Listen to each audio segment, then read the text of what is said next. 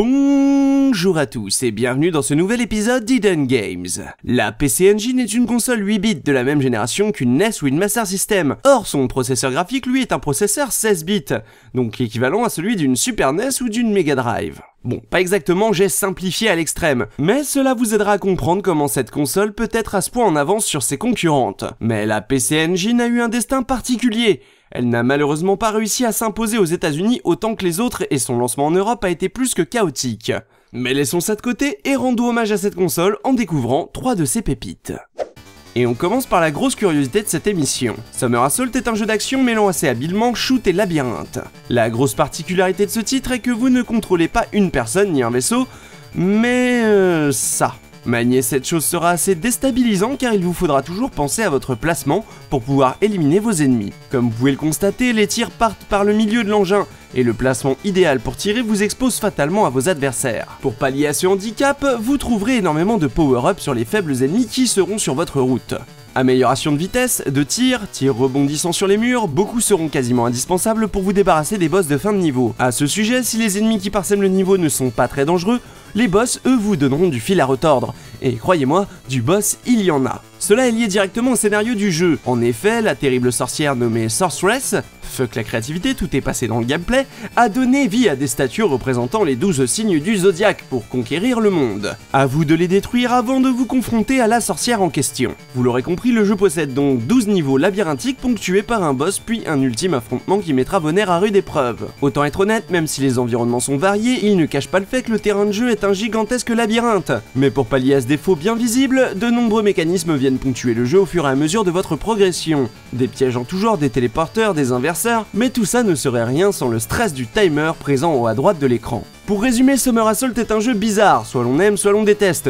Déroutant départ, on s'habitue très vite au mouvement possible, puis on se prend à chercher et se créer des ouvertures ou des safe spots face aux ennemis. Enfin, on joue avec la gravité la tête en bas à la recherche du boss du niveau. Le jeu est assez court, mais la difficulté représentative de l'époque rattrape un peu le tout, et il vous faudra pas mal d'essais avant de réussir à terminer le jeu. Quoi qu'il en soit, si vous avez la chance de mettre la main dessus, vous saurez à quoi vous en tenir. Mais il faudra se lever de bonheur vu que le jeu n'est malheureusement pas sorti en Europe.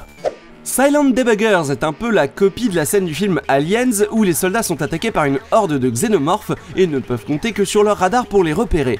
Notre héros arrive donc sur une station spatiale sur laquelle il doit enquêter pour comprendre ce qui déraille. À peine débarqué, Léon, le PNJ qui vous accompagne, vous permet de choisir entre deux armes. Une de type rapide comme une mitrailleuse et une de type lance-grenade. Une fois ce choix effectué, vous êtes lancé au cœur de l'action en vue à la première personne dans un labyrinthe, avec pour mission de tuer tout ce qui bouge. À l'issue du premier niveau qui vous laisse explorer les lieux à votre convenance, un compte à rebours de 100 minutes sera lancé. Il vous faudra traverser tout le jeu dans ce temps imparti pour éviter que l'ordinateur central de la station ne fasse exploser cette dernière, et vous avec. Il ne va pas vous falloir réfléchir, mais tirer dans le tas. Les seules difficultés du titre viennent de votre capacité à trouver votre chemin et à gérer vos batteries. Si le jeu est immédiatement fun et sans prise de tête, il faut surtout féliciter Data East pour le travail accompli pour l'époque. Rendez-vous bien compte, la PC Engine est sortie entre la NES et la Super NES. Pour vous donner un exemple, deux ans après la sortie de Silent Debuggers, en guise de jeu à la première personne sur Super Nintendo, on avait droit à ça. C'est l'anti-fun total.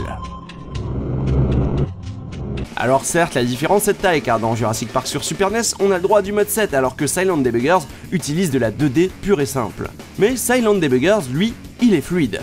En toutes circonstances, même assailli d'aliens, l'action reste toujours fluide. Bon, on notera tout de même une grosse répétitivité au niveau des décors, et l'impossibilité de dire si l'on avance ou si l'on recule quand l'on marche, mais ces défauts sont mineurs quand on fait le simple constat suivant. Le jeu reste toujours agréable et fun à jouer aujourd'hui.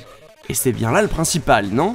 Le timer qui vous presse, les lipopressants signalant l'approche des aliens, les batteries qui se déchargent, tout dans ce jeu est pensé pour plonger le joueur dans un état de stress, idéal pour enchaîner les erreurs et devoir recommencer un niveau avec ce que cela implique de temps perdu. Comptez en plus sur un mode hard et vous comprendrez que Silent Debuggers prendra quelques temps pour être terminé. Bien qu'ayant une durée de vie maximum d'un peu plus de 100 minutes par partie, il ne sera pas rare pour une personne découvrant le jeu de devoir recommencer depuis le début par manque de temps. Comme d'habitude, je vous conseille de vous jeter sur le titre si vous en avez l'occasion, ne serait-ce que pour le découvrir. Bien qu'il ne soit jamais arrivé en Europe dans sa version PC Engine, il fut disponible sur la console virtuelle européenne de la Wii en 2007, mais retiré du catalogue en 2012. Les chanceux qui l'ont en leur possession sont certainement très peu nombreux. Neutopia est un jeu qui n'est pas vraiment passé inaperçu, mais il serait dommage de ne pas en parler dans cette émission. Je pense qu'il n'est pas utile de vous préciser quel jeu a inspiré Hudson pour concevoir Neutopia, donc nous allons directement passer à ce qui en fait un bon jeu. Première chose, le jeu est un pur clone, mais dans le bon sens car il copie ce qui fait le succès de son modèle. Le scénario est d'ailleurs 100% identique à celui du maître étalon. On se retrouve avec Jazeta, un héros lâché en pleine nature qui doit traverser 8 donjons pour récupérer 8 médaillons afin de triompher du maléfique Durst et sauver la princesse Aurora. Impossible de faire plus copier-coller. Le gameplay et la progression sont eux aussi identiques, et il sera toujours question de trouver des items permettant de progresser toujours plus loin dans le jeu. Au passage, la difficulté très bien dosée en fait un titre particulièrement agréable. Mais là où Neutopia se démarque, c'est grâce à un item en particulier, le bâton de feu. Celui-ci permet d'envoyer des sorts de feu, ce qui paraît logique, mais il fait partie intégrante de beaucoup d'interactions avec le décor et des énigmes, et il possède 4 sorts distincts. Quand la vie du héros est basse, le bâton jettera des petites boules de feu à courte distance. Avec la vie maximum, le bâton lancera de grandes colonnes de flammes. Bref, cet item à lui tout seul change assez le gameplay pour qu'on s'intéresse au jeu. Autre différence et non des moindres, la qualité graphique et sonore du titre. Alors certes, il est sorti deux ans après The Legend of Zelda, mais Neutopia bénéficie de l'avance au niveau hardware de sa machine. Pour l'époque, la qualité du titre est largement au-dessus de ce que propose la concurrence, mais malheureusement, le jeu souffre aussi de deux gros défauts. Pour commencer, impossible de sauvegarder. Il vous faudra obligatoirement passer par des mots de passe de 24 caractères pour pouvoir continuer votre aventure, si vous possédez le bon item et si vous avez pensé à récupérer le mot de passe auprès d'un PNJ un handicap réel pour un jeu de cette envergure. Le deuxième point noir réside au niveau des collisions avec les ennemis. Il n'est pas rare de louper un ennemi que l'on pensait pourtant avoir touché. Avec un peu de pratique, on finit par comprendre comment s'y prendre, mais cela demande vraiment un temps d'adaptation pour un habitué de la précision de la saga de Nintendo.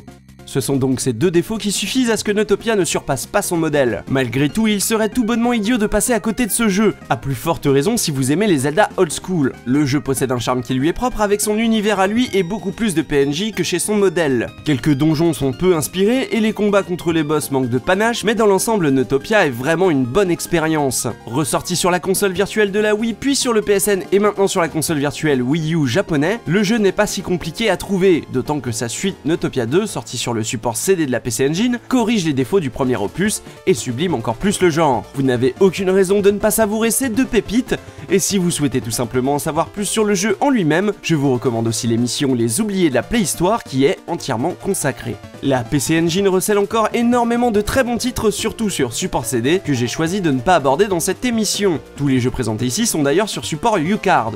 Mais les jeux sur CD ne seront pas oubliés, nous pourrons en découvrir dans la prochaine émission qui leur sera dédiée. Je vous retrouve pour ma part dans deux semaines pour une prochaine émission. N'oubliez pas de vous abonner à la chaîne de Gamelove et à partager cette vidéo, et n'hésitez pas à nous partager vos plus beaux moments PC Engine dans les commentaires. A bientôt pour un nouveau numéro d'Eden Games.